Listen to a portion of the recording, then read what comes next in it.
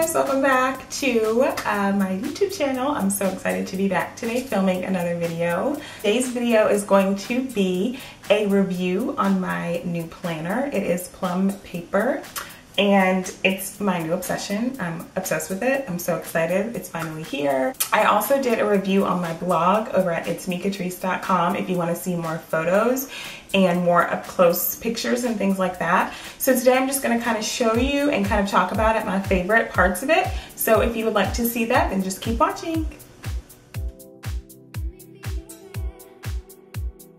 So the first thing that I want to talk about when it comes to the planner is the design. So when I was on the hunt for my new planner, um, I really wanted to pick something that was a simple design, but still something that was that I would like to look at. Thing that was kind of glam, but kind of you know simple every day. If those two things can go together, which I think they do. Um, I also wanted to find something that I knew would work for work and for like personal life, my blog. I wanted something for my YouTube channel. I wanted to keep like my house decorating things in it. I wanted it to be like an all-in-one. Here it is. So it's gold and kind of like a turquoise and it's got a monogram and then it's got uh, 1617 right here and it's the same design on the back. This is what sold me. This is something that I knew that I could look at all the time and not get bored of it. Um, and I knew that it would be able to transition like take it to work, be out and about with it. really pretty. I like the gold and the turquoise together. You can choose when you want your planner to begin, when you want it to end. Um, I chose a 12 month option, so I started with June and then I went to, of course, May. So I went from June to June. So each month looks like this, and then whatever, you know, the, the title of the month, uh, the letter is right here in the corner. So each of them has a different color, a different page. Um, and then inside of each month, you have monthly highlights, birthdays, events. You can choose all that, so things to remember. And then the best part that I think is you get to choose um, your design. So I chose the horizontal version. I chose horizontal because I like it better. I can write easier horizontally and I liked that you were, you were able to have, and then you also had a little square here to write any other details you wanted.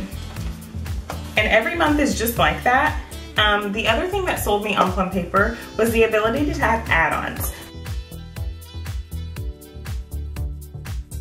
I added on a My Home section and I also added on a blog section.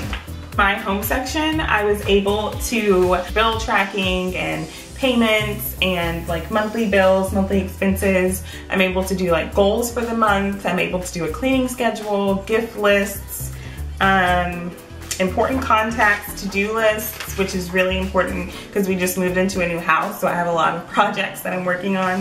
Um, things to remember, um, important events, unforgettable moments, milestones, monthly expenses, monthly goals, um, shopping lists, which is also very important. All of those things I'm able to do in the My Home section, and I really love that part. Now in the blog section, I decided to use the blog section for my blog, itsmekatrice.com, and as well as my YouTube channel. So monthly overview page, you're able to kind of just write your websites your in, and um, inspiration, which is important for me, your blog to-dos, your post ideas, and then your final post schedule, which is really good because you know, it helps you get on a schedule. That way you don't forget like when you're supposed to upload and what you're uploading and things like that.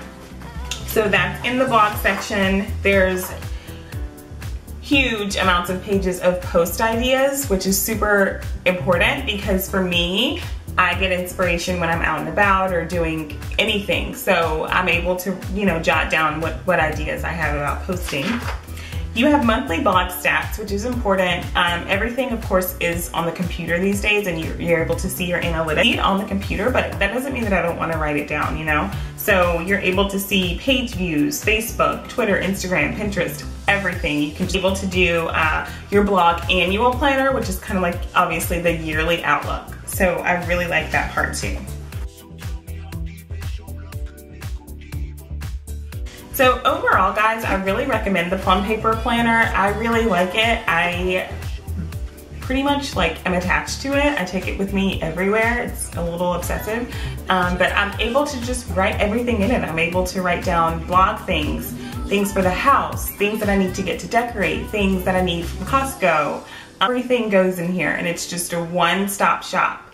Um, and that part I really, really like. Don't forget to check out my blog. I have a lot of pictures on there. The Plum Paper Planner Review blog post. If you just click on it, you're able to see lots of in-depth pictures and kind of a little bit more. See you later. Bye.